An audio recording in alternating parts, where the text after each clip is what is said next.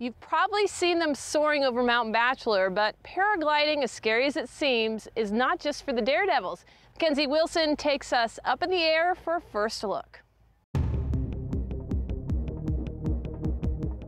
You know when your heart is telling you, yes, go for it, but your head is like, no, do not do that. That is a really bad idea. Well, that's how I felt right about now. Run, run, run,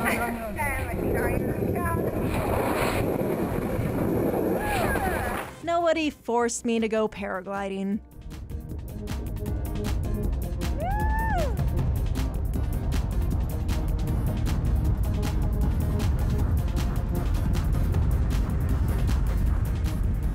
But I wish someone had like a really long time ago. There they are. We're already a couple hundred feet above where we took off. If you're like me, you're probably thinking, that looks really cool, but I would never do it because I hate heights. But my pilot, who's been doing this for 23 years, he hates them just as much as you do. If I have to climb a two-story ladder to clean the gutters on my house, I'm petrified. I hold on to the ladder with, with white knuckles. But flying a paraglider, I trust the glider, I trust the harness. I've got, oh, in excess of 2,500 flights now in the last 20 plus years. Don't get me wrong, it was scary. But this guy summed it up perfectly. It was thrilling and completely relaxing at the same time. I actually felt pretty relaxed too, until Steve asked me if I wanted to be the pilot. And then let's turn left.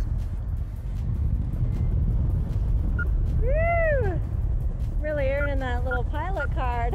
There's a saying that paraglider pilots are birds trapped in human body.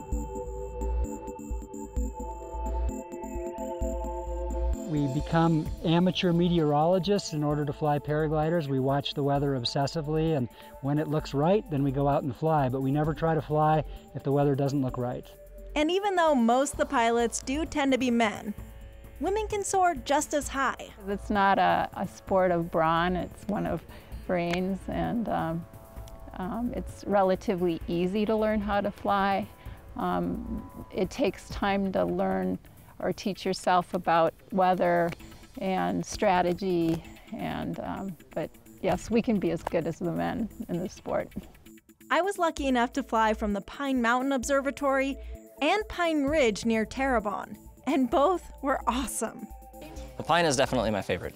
Uh, it's close to home and it's some of the best air, I think, in the world. You know, I've been to, flown on three continents and this is by far the most fun, reliable place to fly and we're so lucky to have it here in Central Oregon. So don't let your fears keep you on the ground. A view like this will make those nervous knots in your stomach just float away.